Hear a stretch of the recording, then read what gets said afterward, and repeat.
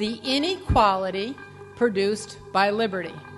This, for the socialist in Latin America, is the soft underbelly of pro market rationale and the best place to attack. I would argue that it is the intellectual stream that prevails in Latin America, and it's the reason the region cannot hope to meet its potential anytime soon.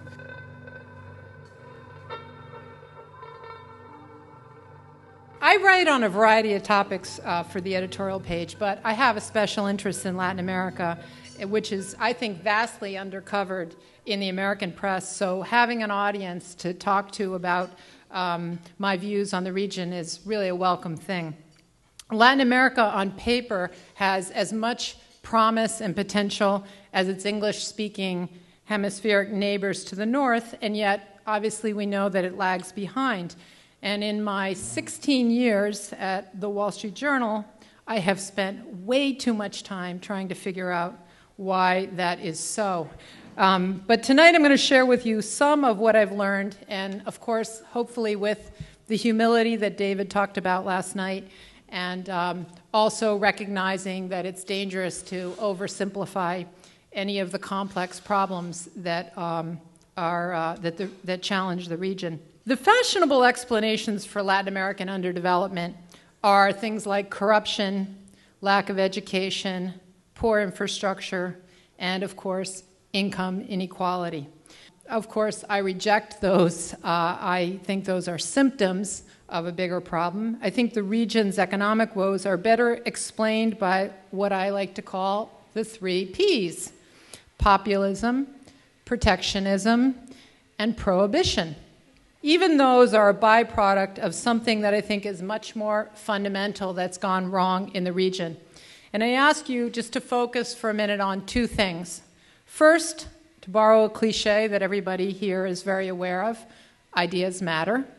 And second, that without entrepreneurship, a society cannot achieve prosperity. That's just a fact. You need entrepreneurs in your economy. And if you dig deeply enough, you will find that ideas from academia and from intellectuals more broadly in the region have played the key role in undermining the entrepreneurial culture in Latin America over the last century. I think more than anything else, this has struck at the heart of property rights and prosperity for hundreds of millions of Latin Americans. Now, many of us are probably in this room are probably not fans of John Maynard Keynes, but it has to be accepted that on some issues he understood the world very well. Listen to this quote, and probably a number of you are familiar with it. It's from the very last chapter of General Theory of Employment, Interest, and Money, which was, of course, his signature work. This is what he wrote The ideas of economists and political philosophers both when they are right and when they are wrong, are more powerful than is commonly understood. Indeed, the world is ruled by little else. Practical men who believe themselves to be quite exempt from any intellectual influence are usually the slaves of some defunct economist. Madmen in authority, we know some of those, who hear voices in the air are distilling their frenzy from some academic scribbler of a few years back. I am sure that the power of vested interests is vastly exaggerated compared to the gradual encroachment of ideas. I agree with Keynes on this, and I think the evidence overwhelmingly supports his view. Latin Americans as most of you probably know, you probably have neighbors and friends from the region, have no problem being entrepreneurial. Immigrants to the U.S. have a long history of starting their own businesses once they've landed in America. So, how come they don't display these skills at home? I submit to you it is because the dominant ideas in the region over the last century have been hostile to entrepreneurship. Now, this jumped out at me. As I said, I've been writing about the region for 16 years, but it really uh, uh, made me focus uh, last summer when I reviewed a new book by the Mexican historian Enrique Krauze called Redeemers and subtitled Ideas and Power in Latin America. The book profiles 12 individuals who Krauze believes represent the major political ideas in the region from the middle of the 19th century through the 20th century. He starts with Jose Marti, and ends with Hugo Chavez. He includes profiles on um, Eva Peron, Che Guevara, Octavio Paz, Gabriel Garcia Marquez, Bishop Samuel Ruiz, and Subcomandante Marcos. Actually, of the 12 people he profiles, only one of them is a liberal. That's Mario Vargas Llosa. And when I was reading the book, I kept wondering where during all this time were the, the entrepreneurs, the merchants, the architects, the builders, the creators, the innovators of Latin America? Every society has them. Why didn't they impose their own ideas on the region? And the answer, I believe, is just as Keynes wrote that the intellectuals were the ones running things, and their ideas of the time were overwhelmingly hostile toward entrepreneurship, profits, and private ownership. Now, the power of ideas was well understood among intellectuals on the left throughout the 20th century. And they set about to get control of academia. In many ways, they succeeded, as evidenced by what is taught, or at least what prevails, in institutions of higher learning in the region. And those of you who know or knew Muso Ayau, who was one of the founders of Francisco Marroquin in Guatemala, know very well that Muso's motivation for starting the university was he was very frustrated with the, the, the, um, the lack of development and progress in Guatemala, and he recognized that if somehow uh, uh, the, the people who believed in freedom and uh, uh private property and, pro- uh, and ownership and profits did not get some kind of an influence in academic circles, they were never going to change the country. I think it's reasonable to argue that the ideas of the left um, gained more credence in, in Latin America than they did in the US because the left was more successful in getting control of education. Venezuelan born journalist Carlos Ball, who now lives in the United States, has written that after 40 years, he wrote about this when around the time that Chavez was first elected, after 40 years of far left controls of schools, universities, and the arts in Venezuela, the general public had, quote, fallen under a well organized system of leftist indoctrination. Now, those sound like cliches, but if you go to Venezuela, you, it really is impossible to deny. I mean, that's basically how the society has been educated, trained, and, um, and how, how it thinks. And it wasn't only Venezuela, this was true throughout the region. As Enrique Krauze shows in Redeemers, forces opposed to classical liberalism, working in the name of Latin nationalism, and much of that nationalism, I should add, Krauze believes came from kind of a backlash against the Spanish American War and uh, a kind of uh, a feeling that the U.S. was imposing itself on the region. So there was this Latin nationalism, and that unleashed among intellectuals very early in the 20th century anti Americanism that was attached to uh, sort of anti markets point of view. This intellectual tendency in favor of nationalism and nationalism's economic counterpart, socialism, were given a big boost during the Great Depression when the Smoot uh, Hawley tariffs hit the region. Latin American policymakers re- retaliated by closing Latin American markets, and for those who had resisted until then, American protectionism made it more and more difficult for them to defend, defend their positions. Of course, today the ideas of Che Guevara and Eva Peron, which are, as Hayek told us, uh, rival social uh, factions, are not popular. And by this I mean, you know, communism and fascism. But there are many people who still argue in favor of collectivism. And those people seldom attack private enterprise head on. I think they know that that's suicidal because they know that the market has created so much prosperity. But instead, they recognize that the market has created prosperity and they ask us not to look at the wealth of nations, but instead what they call the morality, or perhaps more accurately, the immorality of the inequality produced by liberty. This, for the socialist in Latin America, is the soft underbelly of pro market rationale and the best place to attack.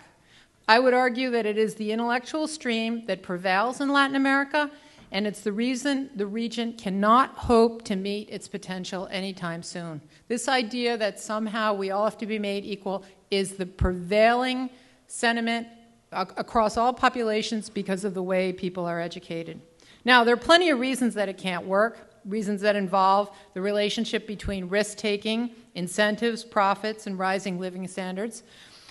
And of course, there's also a strong moral argument against empowering the state to erase inequality.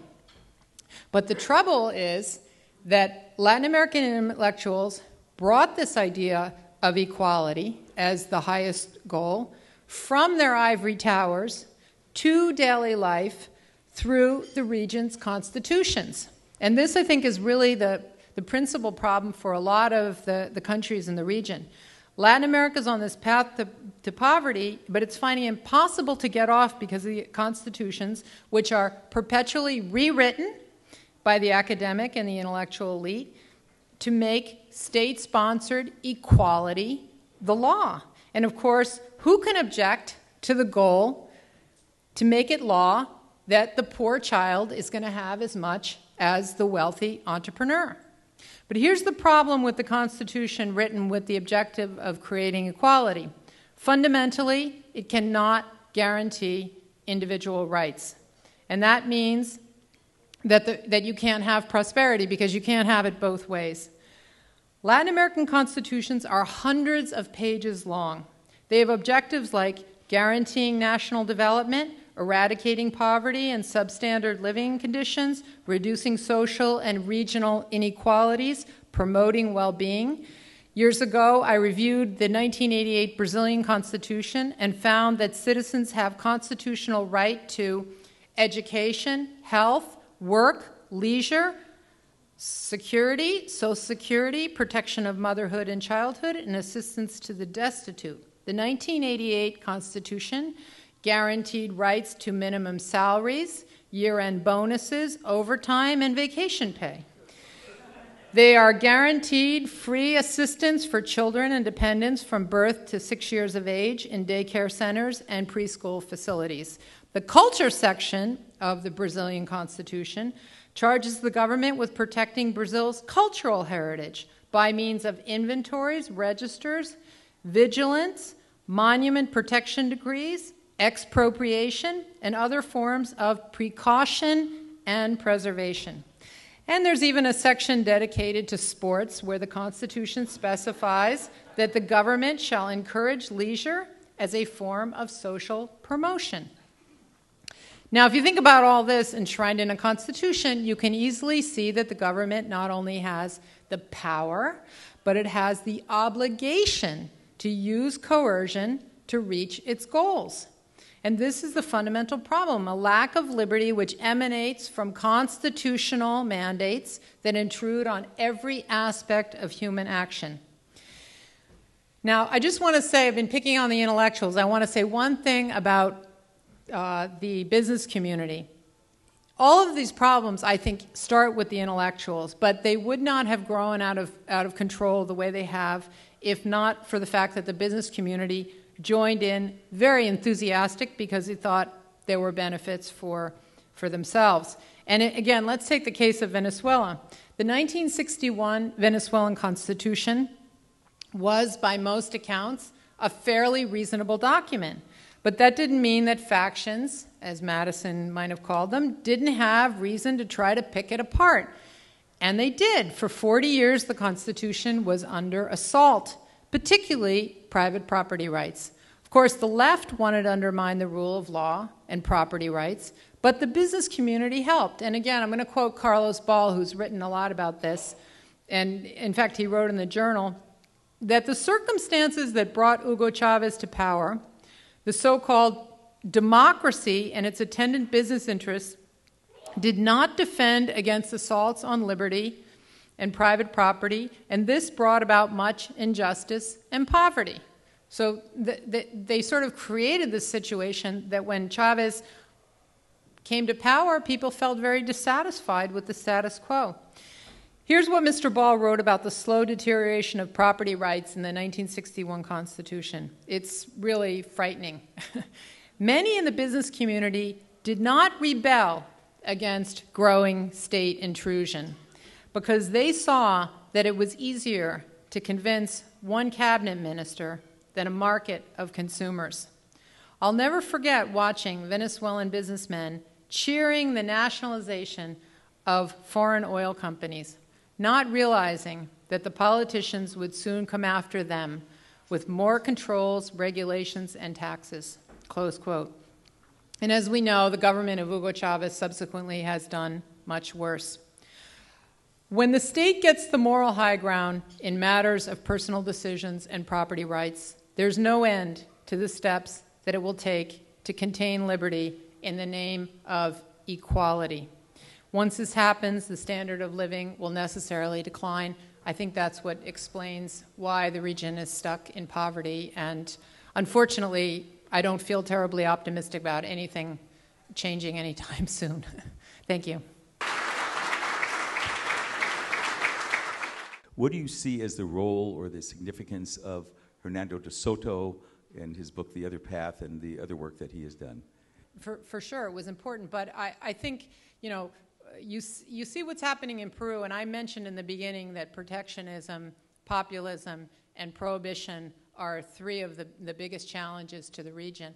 And I think what Peru managed to do um, uh, in the years after that book came out and, and um, you know, they tried to change the country, they opened the economy. That's the most important thing that they did in Peru. That's the thing that's really changed the country. There's still a huge amount of corruption, um, terrible, uh, uh, you know, abuse of government power and so forth. But the country's more open, and that's forced the state to to contract a little bit. Hernando de Soto also in his book wrote that the reason Latin Americans are poor and their governments don't work is because of proportional representation.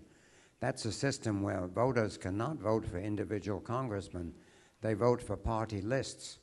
Venezuela being a, a, good example. Every five years, you could only vote, the voters, for the people they'd put out five years before. Right. And the old men running the parties control the names on the lists. and it's, it's yeah. a very dysfunctional system. And American exceptionalism may owe a lot to our Constitution and our system of, of federalism it's, and divided powers. But the proportional representation is not addressed often, and that's the dysfunctional democracies in the world, Russia, another one, all have this system. I think you're absolutely right. I mean, the, uh, the kind of the poster child of this is Argentina, where um, the, the Peronists just continue every election with, this, with, with power because of that proportional representation. Um, but, I, but I think that's, again, that's like a a symptom of a broader problem, which, I mean, we know the problem is too much government, too, too much, uh, the government has too much power. How does it get that power? It gets it through the way the politicians make laws and oftentimes through the Constitution.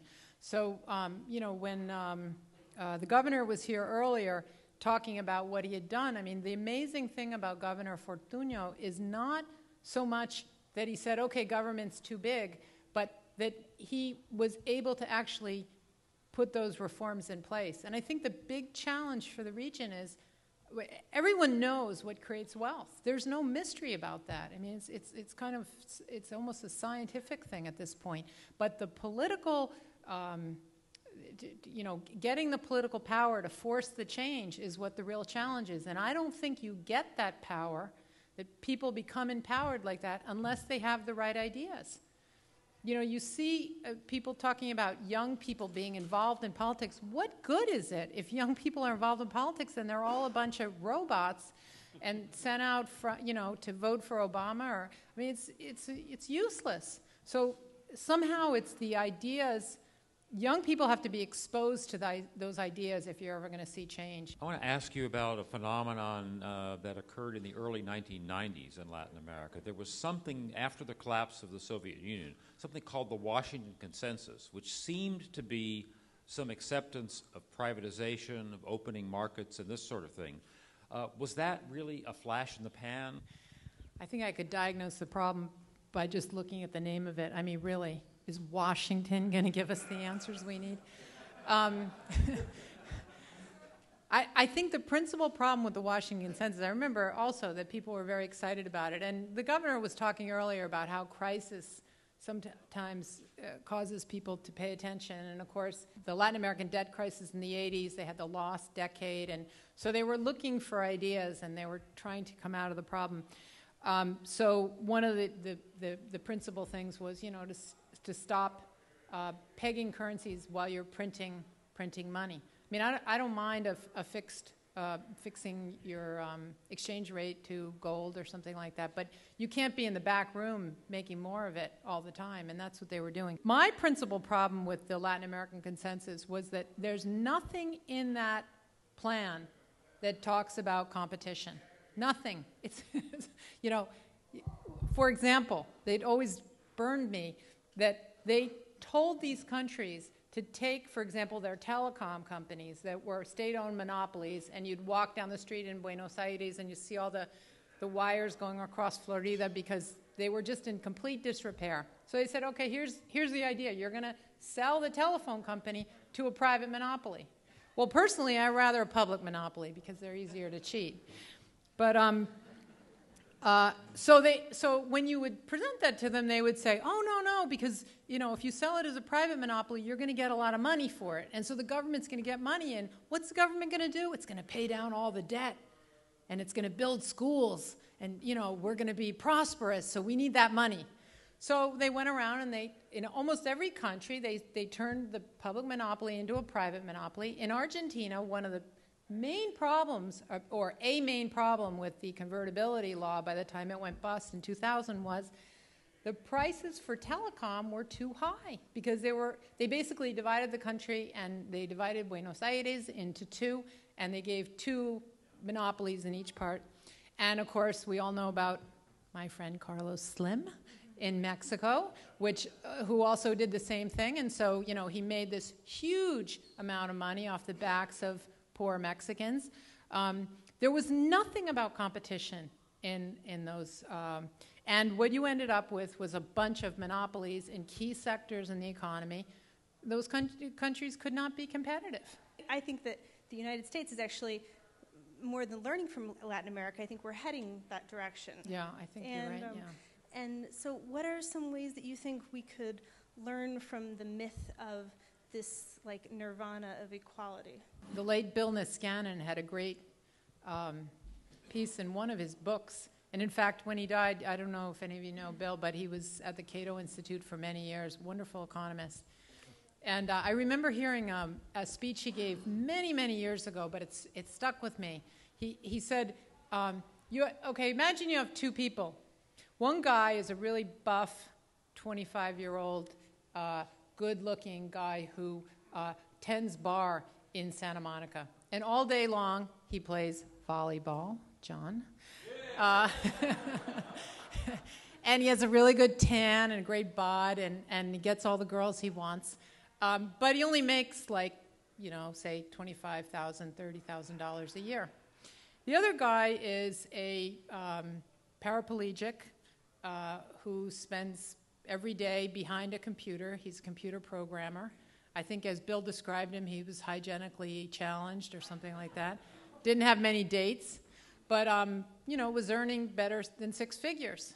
And Niskanen used to say, "How are you going to make these two people equal?"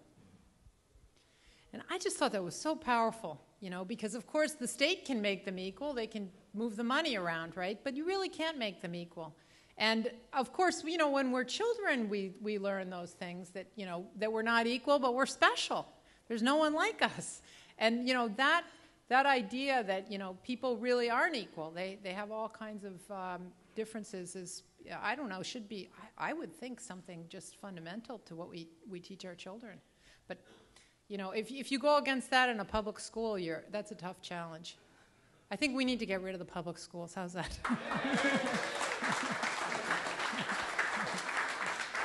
part of the uh, problem with American foreign policy and trade policy is that we really do think that whatever we do is that causes all things that are good or bad in the world. How can American policy towards Latin America make things better? If not make things better, not make things worse? Well, ending the drug war is, you know, an obvious thing, and and the problem there is just that we've empowered these huge organized crime networks that are overwhelming the the um, the power of the state in place, particularly in Central America. It's very bad right now. I have, for a long time, recommended three things. One, to get rid of the IMF. Um, and that's not going to happen. I think that the region has actually done what my friend David Malpass, uh, an analyst uh, on Wall Street, who i have known for many years, he used to say, you know, you're never going to get rid of that bureaucracy. You're just not. It's, it's behaving like a typical bureaucracy.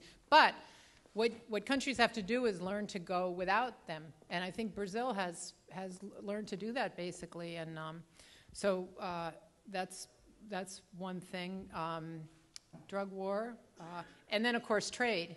Um, I mean, I, my favorite um, recommendation there would just be unilateral disarmament, you know, open our markets, and I think that those countries would open. But, um, but at a minimum, uh, you know, don't sign a free trade agreement with Colombia and wait like six years or something like that to uh, ratify it. And lastly, I mean, I think the Fed is a big problem for the region because, um, you know, our money is not stable. And we're the reserve currency, so they're always trying to figure out how they can. I mean, it's very tough to have a trading relationship when you have this um, monster, you know, kind of controlling um, exchange rates. So at a minimum, the Fed could do a better job at stabilizing the value of the dollar, and my first choice would be, you know, to get rid of the Fed.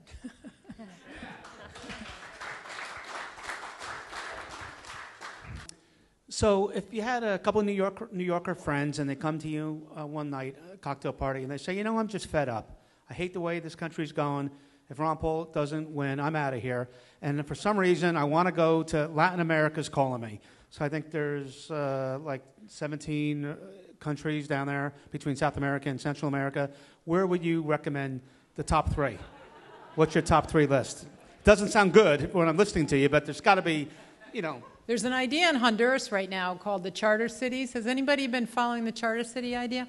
Yeah, so this is an idea sort of right up your alley. Maybe you want to join up. It's an idea that's promoted by an economist that, who's now at NYU by the name of Paul Romer. But the idea actually is sort of homegrown in, in Honduras. Um, they figured out that you know to make all the reforms and changes in the constitution that they would need to make in order to create a liberal uh, um, economy would be too much because they're going to have special interests fighting them on everything. So they said, okay, we're going to take a big plot of government land that's on the sea and make like a kind of Hong Kong experiment. And um, so they'll be starting from scratch. There'll be someone to, uh, I guess there, there's going to be some kind of a sponsor. I don't. They'll they'll make a bunch of laws, and then anybody who can come in who wants to live by those laws. There'll be no minimum wage laws.